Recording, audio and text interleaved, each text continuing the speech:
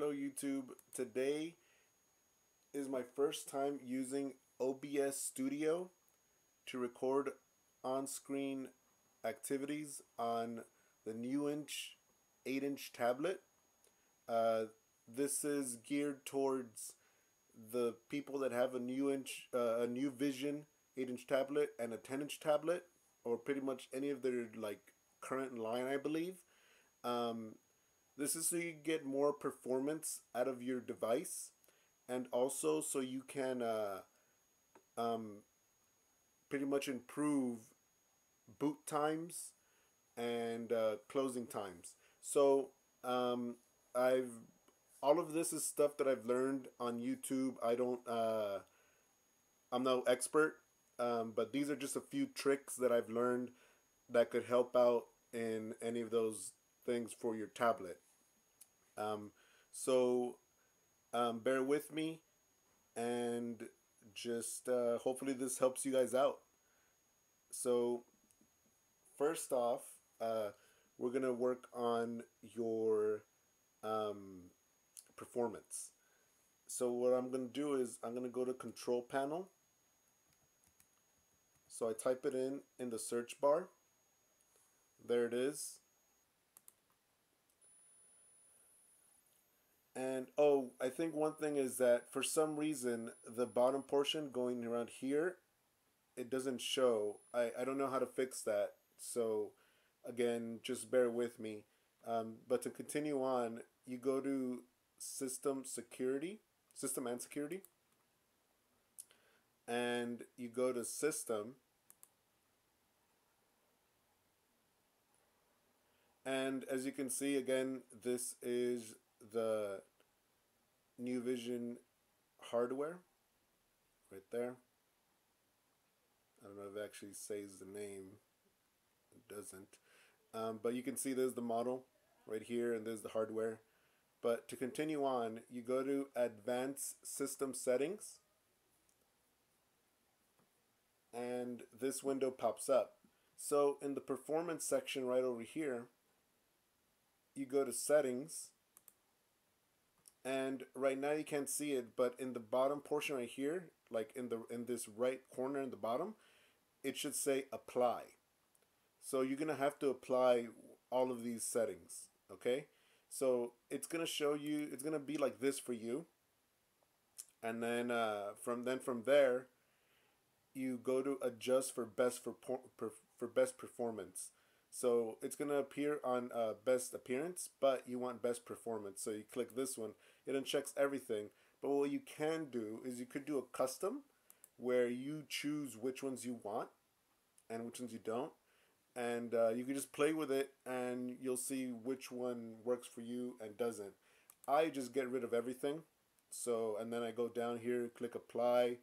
And after that, I move on to advanced in advanced, it should be already uh, checked, but it's gonna it's gonna show uh, adjust for best performance for programs. So just make sure that that's checked, and then you go down to virtual memory, and in virtual memory, uh, you won't have this amount. I think for NuVision owners uh, of the tablets should be like around a thousand something. For any other PC, it just varies based on your current RAM so NuVision tablets have two gigabytes of RAM in general. So this is probably gonna be like one. It usually just uh, adds one more for two. So it kind of it gives you 50% more in virtual memory usually and that goes for i think uh, general pcs and so you go to change uh, it's gonna show it's gonna look like this and so you're gonna have to click right here where it says automatically manage paging file size for all drives. So you uncheck that. And then it's gonna again it's gonna have it's gonna be I think it's gonna be right here for you guys. So you go here, custom size. What I did, I um I went off of the recommended amount and I think I multiplied it by three times. So I multiplied it by three roughly. So um, it's probably I probably multiplied it by less, maybe like two point five times, but I multiplied it, and I got this number. So this is the part where it, it varies on you as a user.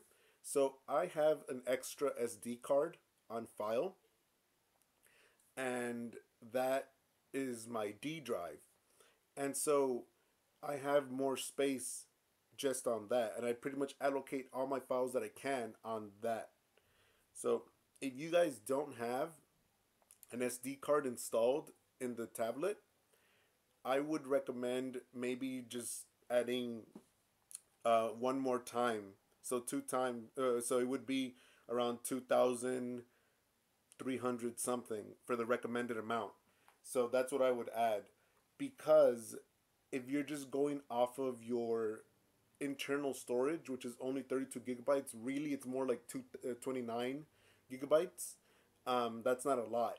Like right now, currently in my um, storage, I have around six free gigabytes. Even though it says that I have this amount, that's not exactly what's going on.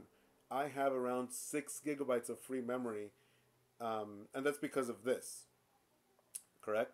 So I could remove everything and then I would have this amount. But obviously, I'm not doing that. Uh, so it just varies on person to person. If you guys have an SD card installed, if you guys don't, how much memory you guys still want to have. So again, this will vary, but this is what I did, and I think it has helped me in performance. And then you go here, you set, and click OK, and you uh, again go down here. You can't see it, but you go down here and apply, and you close it out. And from there you're pretty much done okay? Close it out. And of course at the end of all of this you're going to have to uh, go ahead and restart the NuVision tablet and everything should be applied. Um, you'll see some differences pretty much immediately I don't know if you guys could see in my cursor there is no shadow anywhere. So that's one of the things uh, in the tiles it uh it flips a certain uh, like the tiles don't flip it's just like a, a quick pass through of whatever image it's showing. And so that's it. And also um, just wanted to show that I am running OBS Studio on here uh, I, I dropped it down to 30 frames per second for this video and I think uh, I think the settings are around uh, 720 for output 720p because I tried this earlier with 1080p at 60 frames and it was very choppy and slow. So I'm hoping that these settings will work and for future things that I might do on, on this tablet, um, the, this will help out.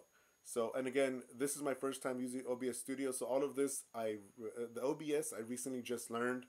Um, so just bear with me and hopefully this has, this video has helped you guys out like, don't like, uh, subscribe, and I'll see you guys in the next one.